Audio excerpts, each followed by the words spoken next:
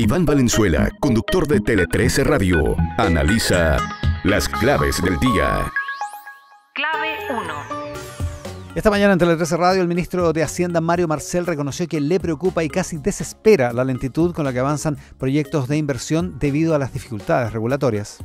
Marcel descartó que exista una actitud antinegocios por parte del Ministerio de Medio Ambiente, por ejemplo, pero indicó que a veces se cree que los proyectos de inversión se van a hacer igual, cuando no es así, dijo, porque compiten con otros países. El jefe de la billetera fiscal aseguró que las regulaciones deberían apuntar a que las inversiones se hagan, con respeto al medio ambiente, por cierto, pero no a que se dificulten.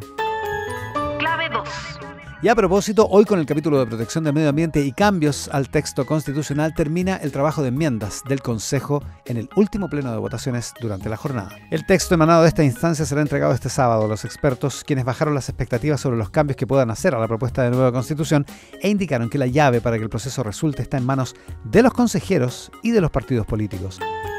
Clave 3.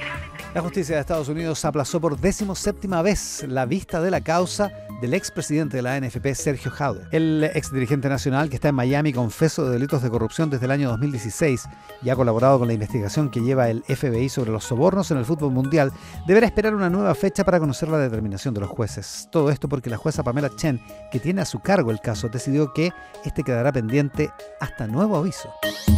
Fueron las claves del día con Iván Valenzuela, conductor de Tele 13 Radio.